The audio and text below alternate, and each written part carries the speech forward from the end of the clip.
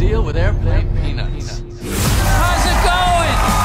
Two weeks of original comedy specials, What are they talking about? I'm so mother I can't remember. all recorded live Killing it. at Netflix is A Joke, the festival. Now we gotta pay for this twice? Best of the fest. Today is Monday, August 1st, and Netflix is entering the compilation game, baby. Coming into our arena, stepping on our toes, on our turf, making best of moments for the Netflix is a Joke Comedy Festival. And look, you know me, I appreciate a good compilation. I love a good best of funniest moments, as much as the next guy, probably more than the next guy. But Netflix stinks at it. And if you watch this video, I'll tell you why. But first, let me welcome you back to the Joke World Comedy Update. Every single Monday, bring you the comedy news that you need to know from your favorite comedians, your favorite podcasts, new specials, new shows. If a comedian gets assaulted on stage, we're covering it all for you every single Monday. So please consider subscribing to Joke World right now, downloading this episode on Spotify, and turning on those post notifications to support the channel. So this was a best of Netflix is a Joke festival, which took place in May, and then ever since then they've been releasing these uh, specials they call them, basically once a week. A lot of our news updates in the past have been about these, and this is just a best of those moments. So they had the Bill Burr Friends Who Kill, they had the Hall of Fame thing that they did last week, they had the Snoop Dogg and Friends special, the Pete Davidson and Friends special, then they had a David Letterman My Next Guest segment. And this was an hour long of like all the funniest, best bits, best stand up moments from all of those specials combined into one thing. Obviously, if you're watching this video, you know how compilations work, but this was one just from that festival. Now, we've discussed this festival a lot on the Comedy News Update. I've honestly thought it was a little lazy for them to charge money for people to attend this festival, then record everything in one take and release it out all year long. But then I started to think, oh, you know what? That is actually kind of cool, I guess. You know, they're making the most of the opportunities that they have to have all these great comics working in this one festival and then, you know, releasing more comedy on Netflix. There's nothing wrong with that. I thought it was a little lazy at first, but the more I thought about it, the more I, I appreciate what they're doing. This best of moments though is is kind of trash. Honestly, it's um there's some good. I wrote down some timestamps. So it starts off with Bill Burr, him, him doing some stand up at the Bill Burr and Friends uh, show, which we did a whole video discussing that. Then the next watchable moment is when Sam Morril is on at seven minutes and 30 seconds. So I'd watch the Bill Burr, then skip right to 7:30, and then after that go to 18:20, which is when Brian Robinson's on stage. And then it's just slow as molasses until Christina P gets up at 46:10 in between there's just stuff that you don't I don't I don't even know you don't need to see. or I don't know. Whatever. Do whatever you want. But those were the funny parts. So if you're watching it and you're like, this sucks, go to those timestamps and uh, you should be good.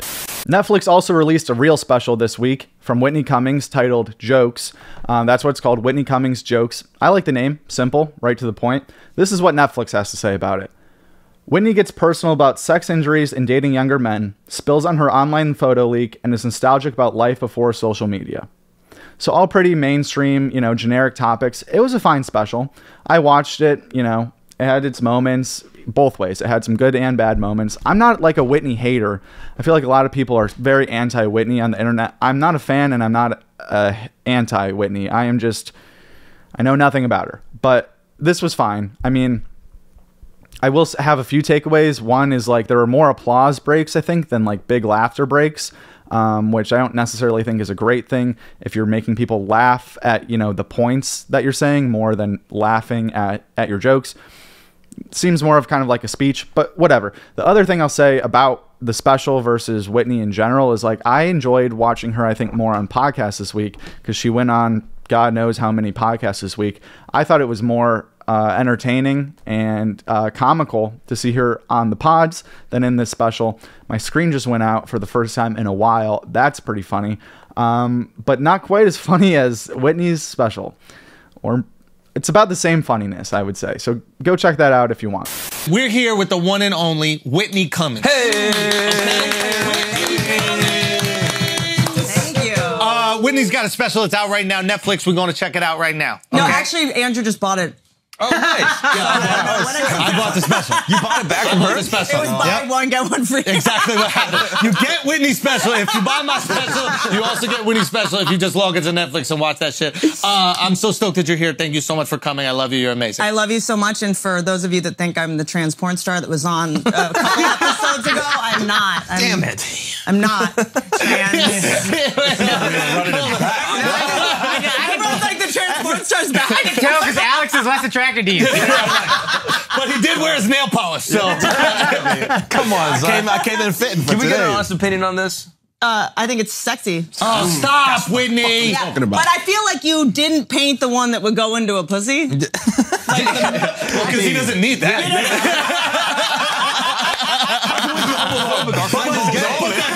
That thumb is painted dark.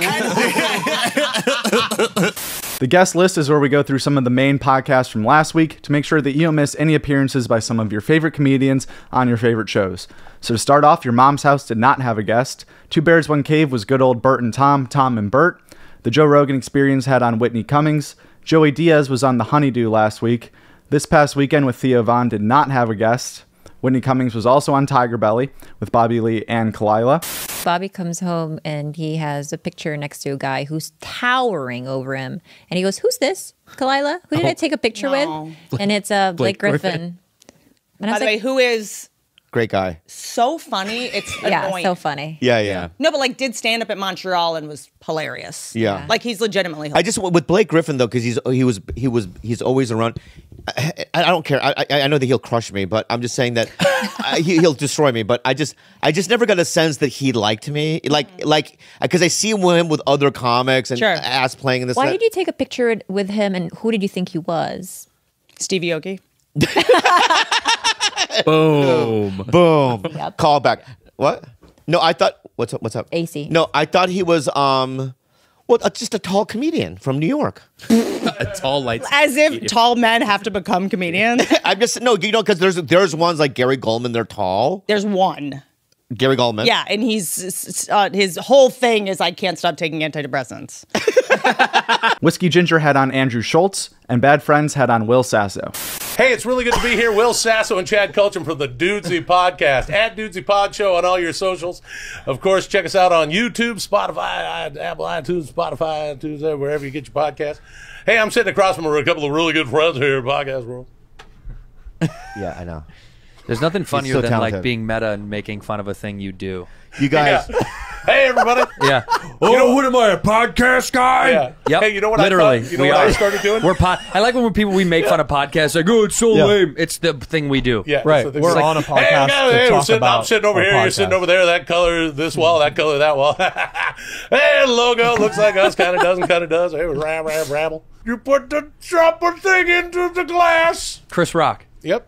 He's good. That is That was good, dead- Chris Rock. I, I thought it was Denzel at first, Yeah. yeah. but that's definitely Chris Rock. Let me hear do another Why Chris does Rock. it have to be a black? Put the drink into the drink and get oh, sleepy. Oh, Nancy Pelosi. Nancy Pelosi. Is that Killed Nancy it. Pelosi? I think it is, Yeah, yeah. yeah. Specials last week, we had Whitney Cummings and jokes that we already talked about. Go check that one out if it interests you. And then a few weeks ago, Paul Virzi came out with Nocturnal Admissions. That's also on Netflix. We have not talked about that one yet, but it's pretty funny. Go check that one out. Those are two that, you know, if you're looking to get into a special, those are kind of new. Other than that, this has been another episode of the Joke World Comedy Update. Every single Monday, bring you the comedy news. So please, again, subscribe and like and, you know, comment for the algorithm. Do all the cool YouTube stuff that, you know, you would want done on your channel. Thank you for watching, though. I don't know how to end these, dude. Just, you know, fucking thanks.